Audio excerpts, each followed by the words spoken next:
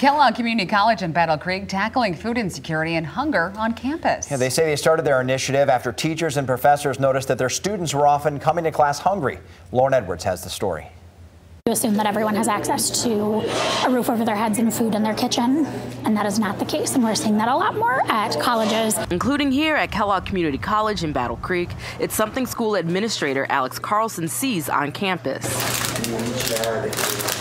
There are reports out there that say that about 30% of college students are hungry. I would tell you that those numbers are pretty low.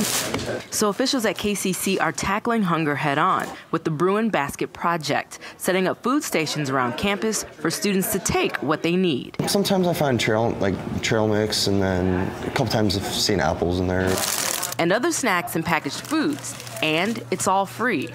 With the busy schedule we ha I have for with like classes and being part of a couple clubs and baseball, um, it's kind of hard to find time to fit in food. But this gives them a chance to eat, and students tell us they're loving it.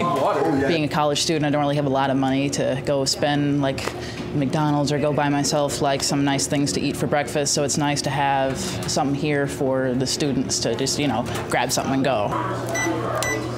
Carlson says it was created last year after other faculty saw the need. We're hearing that from coaches, we're hearing that from support staff, frontline staff, other students are telling us this.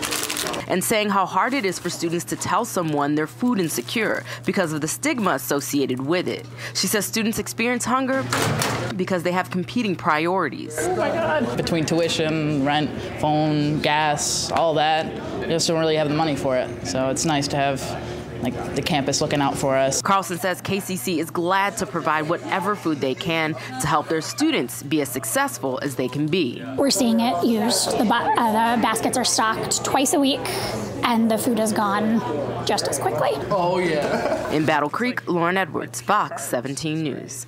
You know, KCC says they get their food and snacks donated from other organizations and businesses in Battle Creek. And if you'd like to make a donation, you can head to our website or click on our mobile news app for that information right now.